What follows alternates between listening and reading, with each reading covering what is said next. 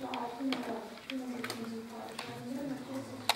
Gün Mərkəzi Seçki Komissiyasının növbəti iclası keçirilib. İclası komissiya sədri Məzar Pənahov açıq elan etdikdən sonra 2015-ci il noyabrın 1-də keçirilmiş Azərbaycan Respublikasının Milli Məclisinə seçkilərlə əlaqədar Mərkəzi Seçki Komissiyasına daxil olmuş müraciətlərə baxılıb. İclasda 54 saylı Şabran Siyəzin seçki dairəsindən deputatlığa namizəd olan Eyza Seyidcahan şikayətinə baxılıb.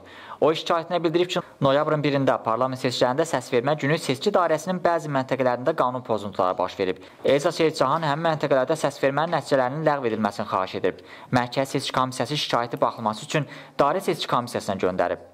Buna belə 107 saylı Qazax seçki dairəsindən deputatlığa namizədliyi qeydə alınmış Zar Hacıyevin şikayətinə baxılıb. MSK üzvü Tofiq Həsənov deyib ki, şikayətdə bir neçə seçki məntəqəsində pozuntuya yol verildiyi yazılsa da, məntəqələr konkret göstərilməyib. Zakir Həsənovla telefon əlaqəsi zamanı məlum olub ki, o Mərkəzi Seçki Komissiyasından ümumiyyətlə 107 saylı Qazax seçki dairəsi ilə bağlı araşdırma aparılmasını və seçkinin nəticələrinin ləğv olunmasını istəyib.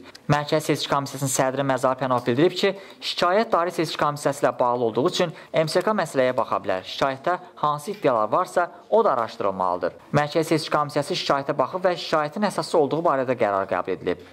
Müraciətlər haqqında MSK katibi Arifə Muxtarova və komissiya üzvləri Ramiz İbrahimov, Qabil Orucov, Tofiq Həsənov məlumat veriblər.